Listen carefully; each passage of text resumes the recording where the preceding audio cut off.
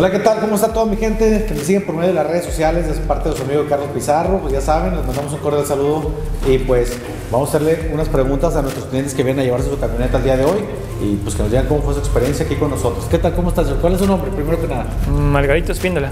¿Y usted, señor? Gerardo Espíndola. Ok, platíquenos cómo fue que supieron acerca de nosotros este, y pues bueno, cómo fue su experiencia acerca de la compra de esta camioneta. Igual en Facebook, viendo videos, buscando ver dónde sacar un carro a crédito, porque Ok. acá es difícil. Y luego lo que veía eh, en el Facebook, eh, en comparación a la realidad, ¿usted qué pensó? ¿Que sí iba a ser cierto o que, platíquenos? Mm, No, yo creí que era un poquito más difícil, ¿no? Más difícil porque acá luego se hace difícil sacar un carro a crédito, te piden muchas cosas y así. Excelente. ¿Qué consejo le daría usted a las personas que lo van a ver por medio de las redes sociales? No, pues si tienen la oportunidad que le intenten, y si quieren comprar un carro, que le intenten. Sí, que se animen a venir, ¿no? La verdad sí es más fácil. Bueno, pues muchas gracias, muchas felicidades. Eh, sabemos que Gracias. en la camioneta la quieren porque es para el trabajo y sabemos que les va a ir muy bien. Y aquí estamos, ya saben, todo lo que necesiten.